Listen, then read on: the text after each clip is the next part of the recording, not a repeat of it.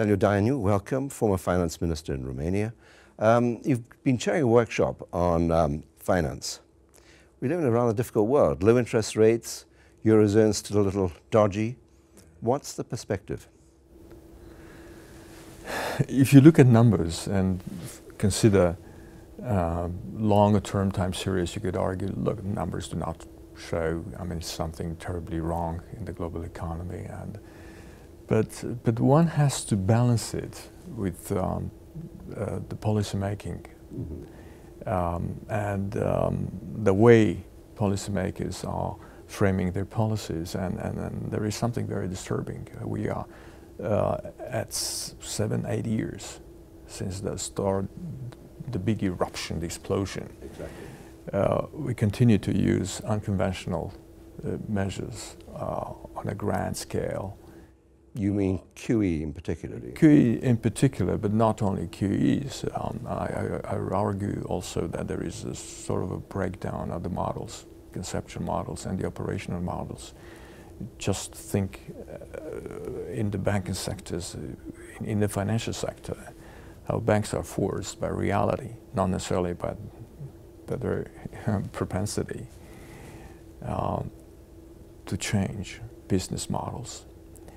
Uh, we, are talking about, for example, I'm, I'm, I'm, I'm in support of uh, reintroducing a sort of a Glass-Steagall mm -hmm. legislation. Many are oppose it, but, but, but if you look, but, but banks are forced by reality yeah. to think about whether uh, universal banking is still uh, a valid concept and, and how to make their entities more robust and resilient. Well, you're, I think, in company with Mr. Volcker and several others, but it doesn't seem to be happening. Uh, de facto, there are there, there are trends there are trends uh, uh, uh underway. I'm not saying that we're going to end up with Glass-Steagall in the end. But, but if we don't, are we heading but, towards but, another but, bubble? But, but just think about it. I mean, so we are thinking about uh, too big to fail. Some are saying that probably we should also think about, uh, we should consider splitting very large entities. We should um, separate investment yeah. from retail banking. Some banks are downsizing their operations. Just think about uh, what's happening in Switzerland, yes. but, but, but also in the UK. Yeah. In the UK, and, and this is something should should give people food for thought because you're talking about UK. We're not talking about mm. the UK is the country where the big bang yes. started, and and the revolution. Okay, Indeed. so um, probably we have oversized finance. Finance in general has to be downsized. There should be more. Uh, uh stronger capital and liquidity requirements. Should, should, there should be less leverage.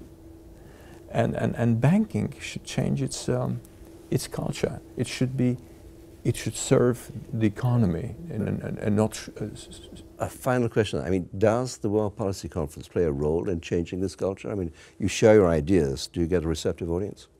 Uh, of course, uh, the World Policy Conference is, is an intellectual driver, but not only uh, intellectually, I must say. It's, uh, it's um, uh, focuses because there, there are people who, uh, some of them are still in the trenches. Some of them might not be currently in the trenches, but they can pull the strings from behind. And, um, and um, uh, just a final note, because we have not focused in our discussions on finance um, exclusively.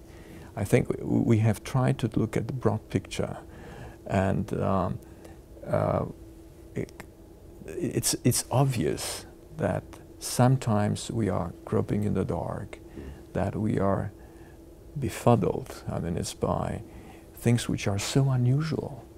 It's th think about no inflation. Although huge amounts of liquidity have been introduced, Keynes' key concept, the liquidity trap, Absolutely. is very intensely operating. Uh, economic rates, rates I, I, I, would say it again, are not so bad if you consider very long-term series. but they might be disappointing in view of what people are expecting from And governments I to deliver. think, I think Keynes also said in the long term we're all dead. So Uh, I think I should leave it at that. Daniel Daianu, thank you so much for being with us. thank you for the invitation.